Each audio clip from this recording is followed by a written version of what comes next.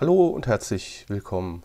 Heute präsentiere ich euch keine alte Ansicht von Hadamar, zumindest keine, die wir hier im Kanal nicht schon mal erwähnt hätten oder gezeigt hätten. Vielmehr ist es mal wieder Zeit für ein Video aus der Reihe Erratum et Supplementum, also um es mal verständlich auszudrücken, das sind Folgen, in denen ich Ergänzungen und oft auch Berichtigungen zu Videos und zu Ansichten veröffentliche, die wir hier auf dem Kanal schon mal gesehen haben. Ich weiß, das ist nicht ganz so populär, das sehe ich an den Klickzahlen, aber ich denke, das ist notwendig, denn es kommt immer mal wieder vor, dass ich irgendwelche Dinge auf den Postkarten falsch interpretiere oder dass mir Sachen nicht bekannt sind. Und inzwischen ist es glücklicherweise so, dass ich Kontakt mit sehr vielen Menschen habe, insbesondere auch mit älteren Menschen, die vielleicht Dinge, die auf den Bildern zu sehen sind, noch aus eigener Ansicht kennen und die mir da viele Korrekturen und weitere Hinweise auf das mitteilen, was ich im Video dann nicht oder falsch erwähnt habe. Also dafür zunächst auch schon mal vielen Dank. Und mit einem Zuschauer habe ich mich neulich auch länger darüber unterhalten. Es ist natürlich ein Problem bei Videos anders als jetzt bei einer Webseite, die man immer wieder überarbeiten kann oder bei einem Artikel auf Wikipedia, wo ich ja auch relativ aktiv bin, auch mit Hadamara-Themen. Diese Videos, die stehen erstmal so da, wenn ich die gemacht habe, wenn die hier hochgeladen sind und können dann nicht mehr verändert werden. Das heißt, Fehler oder Leerstellen in diesen Videos, die kann ich nicht einfach so nachträglich in demselben Video wieder ergänzen und deshalb gibt es diese Reihe Erratum et Supplementum. Außerdem vielleicht noch ein paar Takte zur Kanalentwicklung. Also da freue ich mich sehr und bin sehr dankbar. Mein Kanal VT Aktuell hat 119 Abonnenten inzwischen. Das finde ich ganz großartig. Damit hätte ich auch nicht gerechnet, dass es so viele werden. Natürlich ist das eine sehr, sehr kleine Zahl verglichen mit den großen Unterhaltungs- oder Informationskanälen auf YouTube. Aber man muss, denke ich, immer bedenken, dass wir ein sehr spezielles Thema haben die Lokalgeschichte von einer Kleinstadt, die nur sehr wenige Menschen insgesamt und auch in der Stadtbevölkerung von Hadamar nur sehr wenige Menschen interessiert. Und dafür finde ich diese 119 Abonnenten schon ganz, ganz großartig. Das bringt auch kleine technische Veränderungen mit sich. Durch die Zahl von 100 Abonnenten, die überschritten worden ist, war ich in der Lage, mir bei YouTube eine individuelle Adresse dieses Kanals anzulegen. Also das ist ja so, wenn man den Link zu dem Kanal teilt, ist das eigentlich bei YouTube eine sehr krude und, und seltsame Kombination aus Zahlen und Buchstaben. Und das hat sich jetzt ein wenig verbessert. Also dieser Kanal ist jetzt auch unter dem Link VT aktuell auf YouTube zu finden, beziehungsweise ganz genau ist es halt www.youtube.com, dann slash c slash VT aktuell. Also wer die Adresse des Kanals irgendwie unter Bekannten oder sonst wo verteilen will, hat es jetzt ein bisschen einfacher. Außerdem, und damit komme ich dann zum Ende der Vorrede, muss ich mich entschuldigen. Momentan ist die Videohochladfrequenz nicht allzu hoch. Ja, es ist mal wieder Sommer. Ich habe äh, im Garten zu tun. Beruflich ist auch eine Menge los. Also insofern habe ich hier auch, anders als die schon erwähnten YouTube-Kanäle, eine sehr niedrige Frequenz. Aber es ist ja auch ein Hobbyprojekt und deshalb mache ich mir da gar keinen Druck. Wenn ich so es grob schaffe, ein Video im Monat in etwa hochzuladen, bin ich da schon sehr, sehr zufrieden. So, jetzt aber wirklich genug der Vorrede. Kommen wir zu den Aufnahmen, die wir hier schon mal länger behandelt haben und zu denen sich ein paar neue Erkenntnisse oder Korrekturen ergeben haben. Kommen wir zunächst zu der Aufnahme der Grundschule in Hadamar da haben wir schon festgestellt, die Aufnahme muss sehr kurz nach dem Bau des Schulgebäudes entstanden sein, also kurz nach 1954, also wahrscheinlich noch 1954, vielleicht 55, vielleicht 56. Was wir auch auf der Aufnahme gesehen haben, ist, dass dort nur ein Teil des heutigen Grundschulgebäudes zu sehen ist. Also wurde das Haus in mehreren Bauabschnitten erstellt und da habe ich jetzt auch von mehreren Zuschauern Kommentare bekommen. Also es konnte mir niemand genau sagen, wann der zweite Bauabschnitt, also der Teil des Gebäudes zur Nonnengasse hin erstellt wurde. Aber alle, mit denen ich gesprochen habe, sind sich ziemlich sicher, dass das nur sehr kurz nach dem Bau des ersten Schulabschnitts gewesen sein kann. Also wohl spätestens in den frühen 1960er Jahren, vielleicht oder wahrscheinlich sogar noch in den 1950ern, wurde das komplette Schulgebäude so, wie wir es heute sehen, beziehungsweise heute ist es ja schon wieder um einen weiteren Anbau erweitert, der erst ein paar Jahre alt ist. Aber dieses ursprüngliche langgezogene Schulgebäude in den beiden ersten Bauabschnitten, das muss wohl schon in den späten 1950ern oder spätestens in den frühen 1960er Jahren so errichtet worden sein. Dann kommen wir zum Gebäude des Marstalls bzw. des heute so bekannten Restaurants Fohlenhof. Das haben wir ja in mehreren Aufnahmen gesehen und behandelt, insbesondere in der mit dem Rollkutscher Franz Schneider, der Blick über die Brücke hinweg. Und da sind mir ja schon Veränderungen an der Fassade im heutigen Zustand gegenüber dem aufgefallen, was auf den Fotos zu sehen ist. Das Hohenhofgebäude, das sieht ja erstmal wie ein original historischer Bau aus, aber wir haben ja schon gesehen, dass sich da an den Fenstern und an der Turmhöhe und an dem Dach einiges geändert hat. Und wie mir jetzt auch von Zuschauern bestätigt wurde, wurde dieses Gebäude nahezu komplett abgerissen und wieder auf der gleichen Stelle und größtenteils aus den gleichen Bruchsteinen, die aus dem Ursprungsgebäude stammten, neu aufgebaut. Das war in etwa in der Mitte der 1980er Jahre, also 1984 in etwa.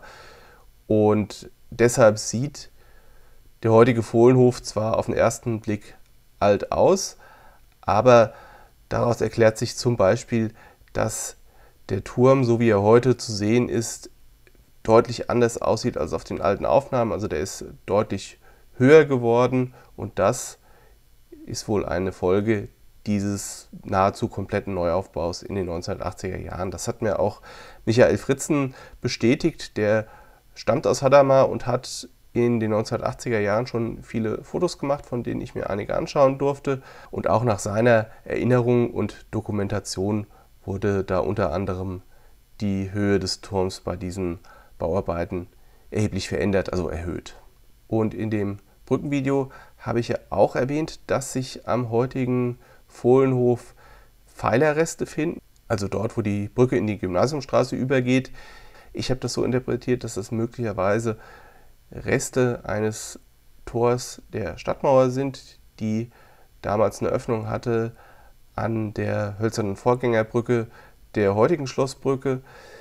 Aber da bin ich mir jetzt gar nicht mehr ganz so sicher, denn es könnte gut sein, dass im Rahmen dieses Neubaus in den 80er Jahren diese Pfeilerreste einfach an dieser Stelle eingebaut wurden, obwohl sie vorher ganz woanders auf dem Gelände standen. Also diese Aussage ist durchaus mit Vorsicht zu genießen.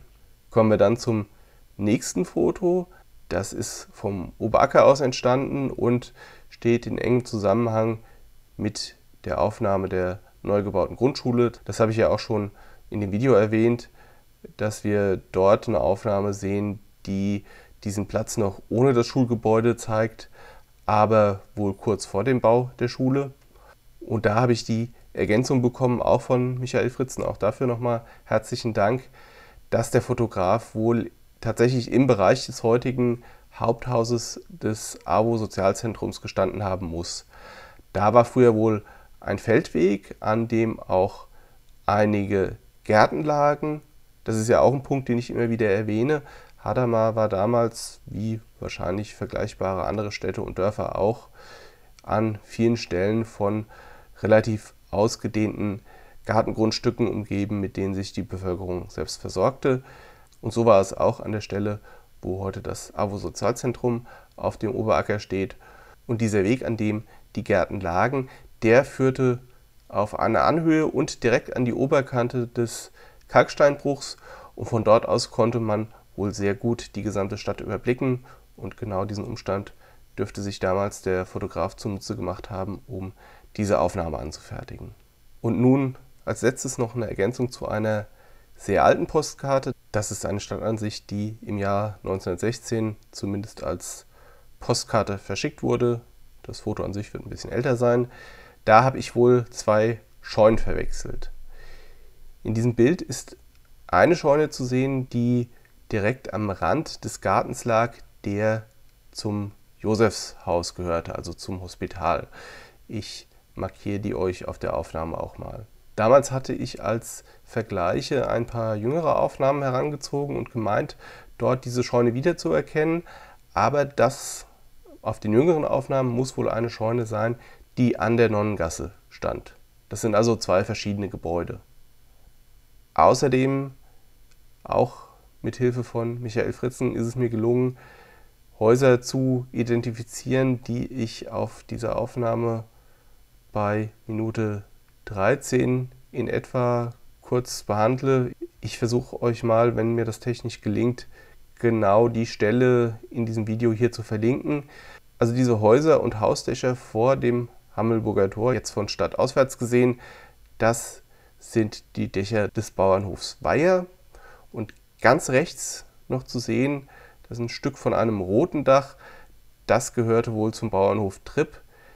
Der stand an der Stelle, wo sich heute der ältere und kleinere Parkplatz der Stadthalle befindet, also quasi fast direkt vor dem Hammelburger Tor.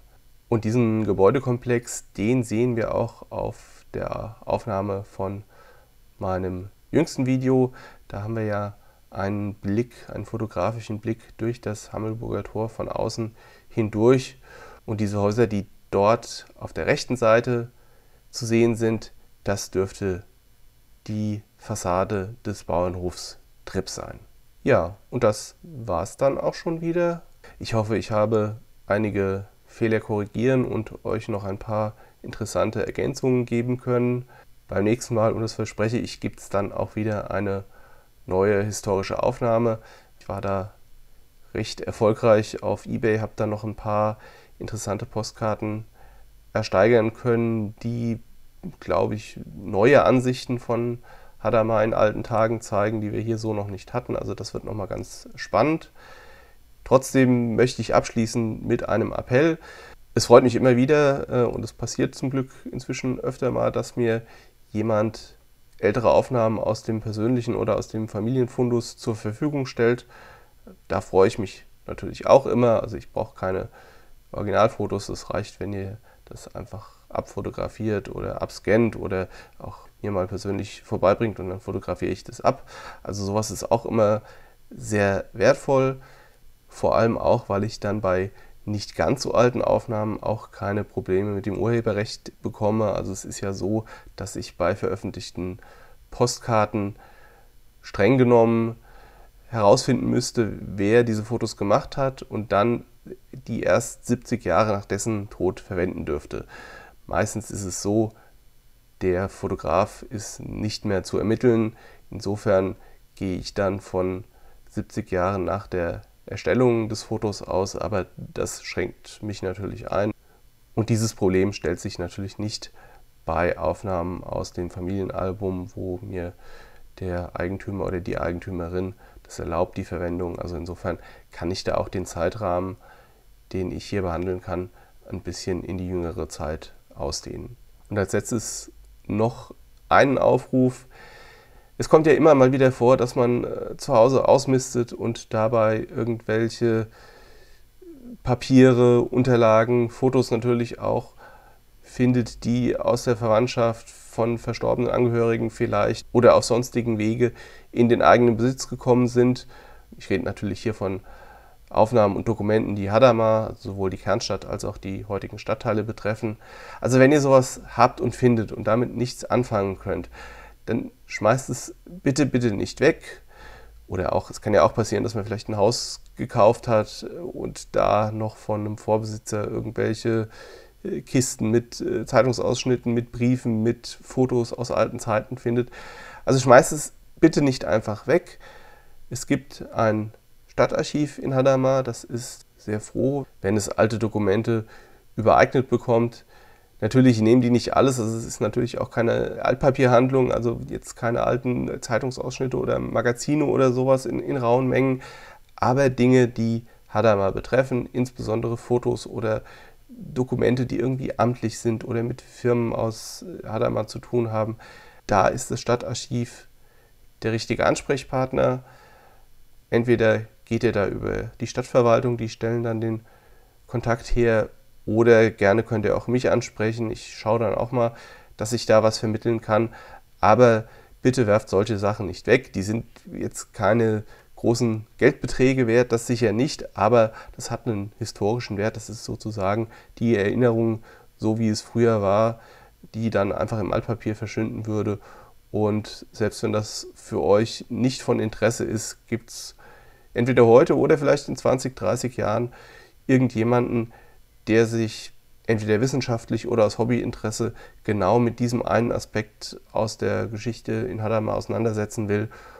Und der oder die ist dann sicher froh, wenn diese Dokumente nicht weggeworfen sind. Soweit für heute. Vielen Dank fürs Zuhören und Zuschauen und dann bis demnächst. Macht's gut.